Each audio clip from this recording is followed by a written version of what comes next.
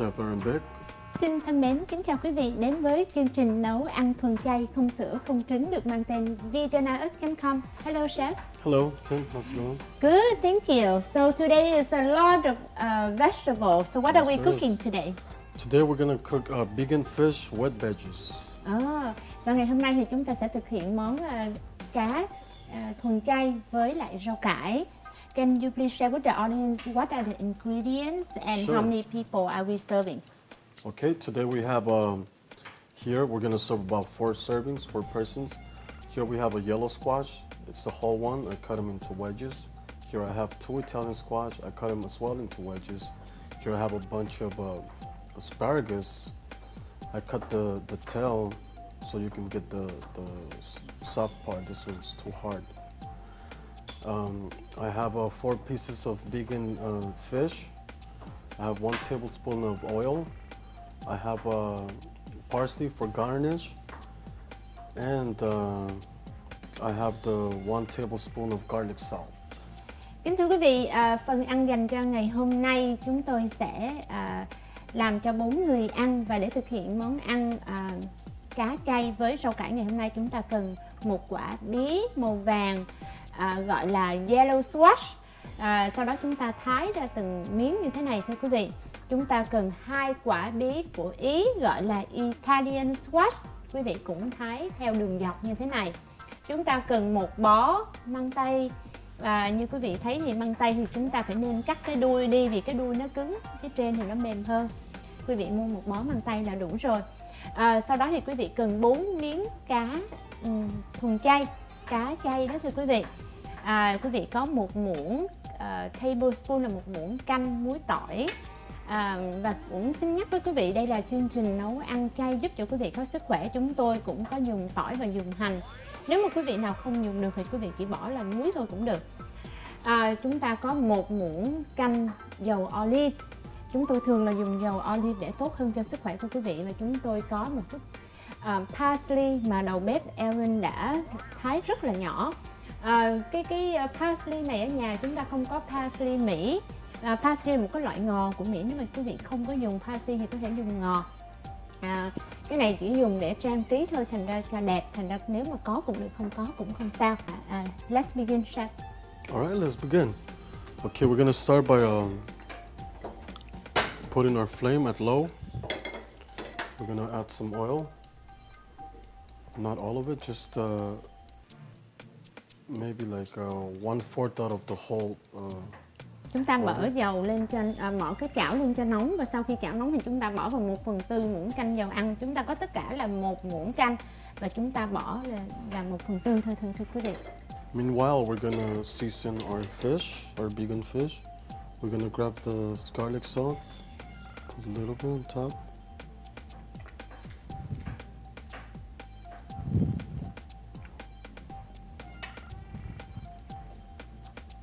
Now we're gonna add some parsley. chúng ta rảy một ít muối trên bốn cái lá cá chay và sau đó chúng ta rảy thêm một cái ít à, parsley lên phía trên cho nó đẹp hơn And we're gonna put it on our pan. và sau khi mà chúng ta đã ướp xong rồi thì chúng ta để lên chảo sau khi dầu nóng thưa quý vị và we're gonna fry it a little right Yes. Okay. và sau đó chúng ta sẽ chiên cá của chúng ta And once it's there, we're gonna put season the top also. Same thing as the front. và à, hồi nãy quý vị bỏ rắc cái muối tỏi lên một mặt rồi bây giờ sau khi quý vị bỏ cái mặt mà đã có muối tỏi quý vị bỏ trên cái chảo thì quý vị rắc một ít muối tỏi lên cái mặt còn lại và rắc thêm parsley lên nữa nghĩa là hai mặt chúng ta vừa có muối tỏi vừa có parsley đã bằm nhuyễn thưa quý vị Okay, meanwhile, while this cooks, we're gonna put our other flame at high.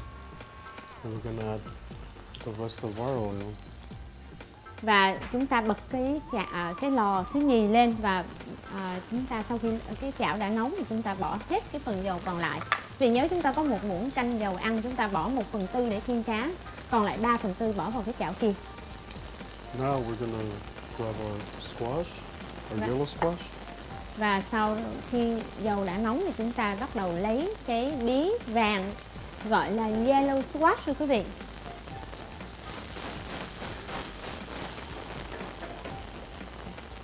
We're gonna grab our yellow squash and put it onto our big. và sau đó chúng ta bỏ vào chảo của chúng ta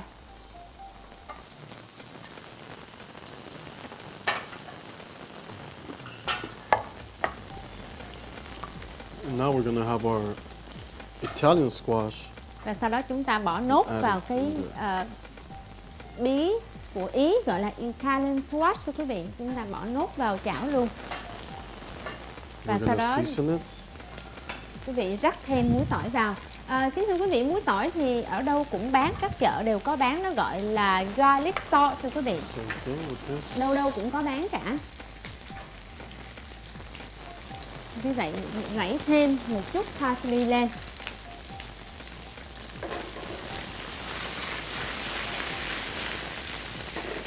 Hồi nãy Kimberly đang nói dở về cái công dụng của măng tây. Nghĩa là cái à, lợi ích mà khi mà quý vị ăn măng tây măng tây ăn rất là bổ thưa quý vị. Vì trong cái măng tây nó có nhiều cái vitamin B nhưng mà quý vị biết khi mà quý vị ăn vitamin B nhiều thì nó sẽ giúp cho ta chúng ta điều hòa cái đường huyết của chúng ta It around. và sau đó quý vị sẽ lật cái miếng cá lại để cho nó chiên đều hơn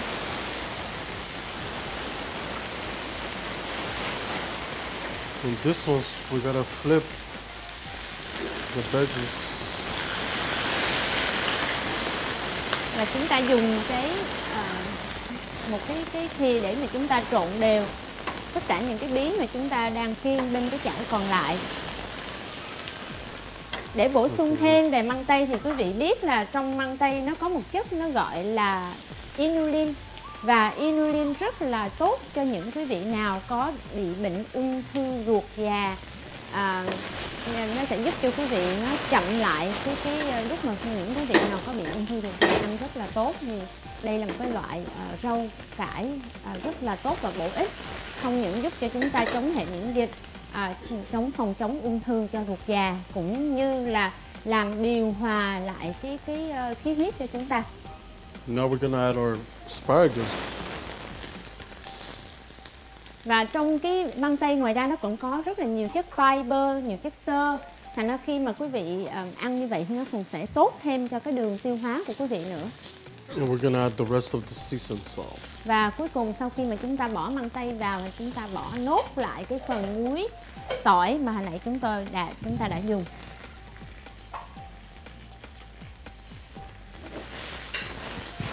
và sau khi à, bỏ vào thì quý vị nhớ là trộn cho thật đều Okay. We hold our, our fish it's cooked now. Now we're gonna wait until our vegetables are cooked.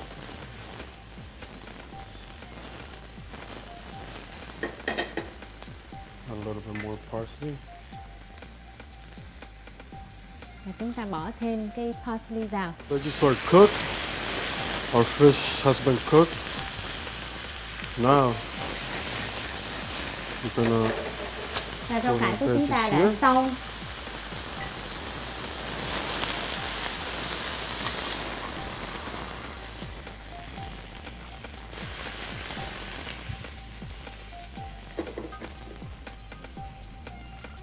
fish. Add it here.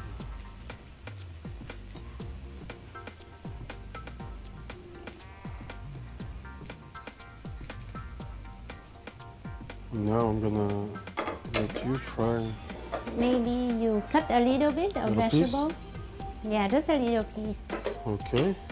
Wow, đây là kính thưa quý vị đầu bếp um, Erin đã nấu xong và bây giờ đã bỏ trên cái đĩa để Kim Ly Hồng Nhung thử. Kim Ly Hồng Nhung thấy rất là lạ vì um, thường thường á, các món ăn các rau cải là thường mình làm nó để nhỏ nhỏ nhỏ nhỏ mà không biết tại sao và trong cái món này của đầu bếp Erin tất cả rau cải nó đều rất là dài. Ha, thì đây là phải có một cái mẹo hay một cái bí quyết gì mà tại sao phải có một lý do để Kim Ly hỏi đầu bếp nhé. Chef Erin, I will Yes. just share share with the audience most of the dishes that we have done in the past, all the vegetables are cut into small pieces. How mm-hmm. come for this one, I see that all the vegetables you cut them very long. I mean, seems very nice, but Yes. there must be a reason for it. Can you please share with the audience? I mean, what are the reasons, right? Well, the reason I cut uh, like this today, Mm. it's because um, I wanted to present the, the fish on top of the of vegetables. Like I needed a bed of vegetables in order to put the fish on top. So on top. Ah, It's uh, the same taste, same flavor, same procedure of cooking, but the only difference is the presentation. right, Like if you can take this to a party, it's gonna look nice. You take it square cut, it's not gonna look as nice as this. Right, right. Kính thưa quý vị, đầu bếp em chia sẻ với chúng ta là thường một món ăn thì quý vị thấy là nó cắt cắt nhỏ thì nó thường quá rồi đúng không? Nhưng mà khi mà quý vị trình bày, như quý vị đi đi những cái nhà hàng Mỹ, những nhà hàng lớn, những nhà hàng mà ờ, tại những cái địa điểm đắt tiền thì quý vị thấy là thường thường họ để nó dài là đây là một cái presentation, một cái cách để mà mình trang trí cho nó đẹp hơn, nó thịnh soạn hơn mà nhìn nó rất là là to lớn. Tuy là món ăn mình rất là đơn giản nhưng cái cách trình bày nó rất là quan trọng thưa quý vị. Tại vì um, Kim Ly Hồng Nhung nhớ có một, nghe đâu một cái câu nói người ta nói là mình ăn không chỉ là bằng miệng không mà mình ăn còn bằng cặp mắt của mình nữa.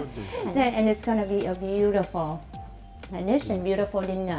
À, Kim Ly mong rằng với cái món ăn cá chay với rau cải như ngày hôm nay sẽ mang đến một cái buổi dinner, một cái buổi ăn tối rất là romantic, rất là ấm cúng với những người mà quý vị thương nhất, yêu nhất trên cuộc đời. À, mong quý vị luôn luôn có những sức khỏe tốt, luôn có một sức khỏe tốt và luôn có những cái buổi ăn thật ngon của chương trình Vivilla Us. Xin chân thành cảm ơn đầu bếp Aaron Vick. Thank you so much chef for coming here. Và cảm ơn quý vị đã theo dõi chương trình của chúng tôi ngày hôm nay. Mến chúc quý vị một cuối tuần thật bình an và hạnh phúc. Bye bye. Bye bye.